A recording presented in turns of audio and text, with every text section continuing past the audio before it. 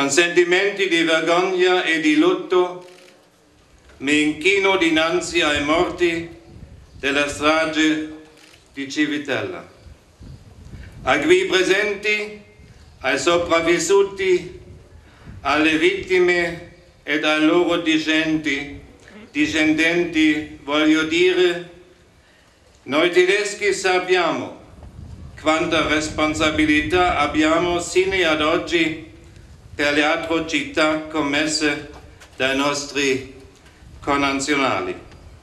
È nelle parole del ministro degli esteri tedesco Frank-Walter Steinmeier durante la cerimonia in ricordo delle vittime della strage nazifascista di Civitella del 29 giugno del 1944 la conferma di come la memoria sia ormai diventata una memoria europea. E questa forse una delle più grandi conquiste da parte di coloro, Associazione Civitella Ricorda, Comune di Civitella e Provincia di Arezzo si sono sempre battuti negli anni contro la divisione e l'odio per la conservazione della memoria.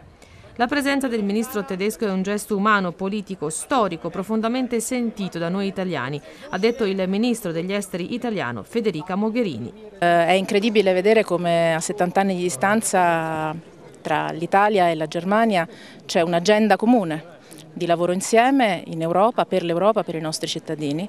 E soltanto appunto, 70 anni fa sarebbe stato impensabile e questi luoghi ce lo ricordano molto bene. Questo è frutto di una volontà politica lungimirante, visionaria, del lavoro costante che è stato fatto per la costruzione di uno spazio comune europeo, che è quello che ha consentito di arrivare fin qua. E poi un abbraccio che sa di riconciliazione che per avverarsi non può, come ha sottolineato lo stesso ministro tedesco, che partire da una memoria accertata e accettata.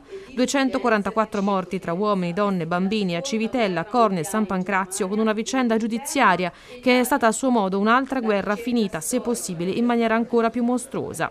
Ed ecco che proprio la conservazione della memoria diventa il simbolo della pace. Il castello di Civitella in Valdichiana restaurato e sede del Museo della Memoria è l'augurio che si fa il sindaco Ginetta Menchetti.